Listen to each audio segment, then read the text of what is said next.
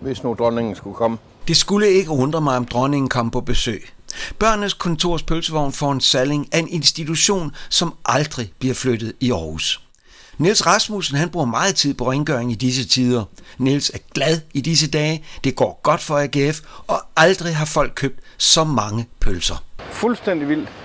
Altså, øh, tyskere har vi jo altid haft mange af. Hollænder, og det er, jo, det er jo ligesom om, at øh, nu kan de jo ikke rejse sydpå, så kommer de sgu herop alle sammen. Så, øh, og danske turister, masser af danske turister. Men de har sprunget alle rammer de sidste 14 dage, 3 uger. Fuldstændig vanvittigt. Altså, vi holder længere åben, og vi åbner før, og jamen, det er bare med at være her. Alle kender betegnelsen børnenes kontor. Den har altid været der. Siden 44. Så det er jo da nogle år. Men altså, man kan jo godt mærke, at det er lidt andre tider sådan, ikke? Altså, vi, de, inden for de sidste 15 år, der er der jo blevet færre vogne. Men, men dem, der er her, trods corona, de, det, de skal nok overleve. Alt, hvad vi betaler i husleje, det, det bliver brugt til juleuddelinger, til sommerlejre og ja, whatever, til at hjælpe familier, der mangler lidt støtte.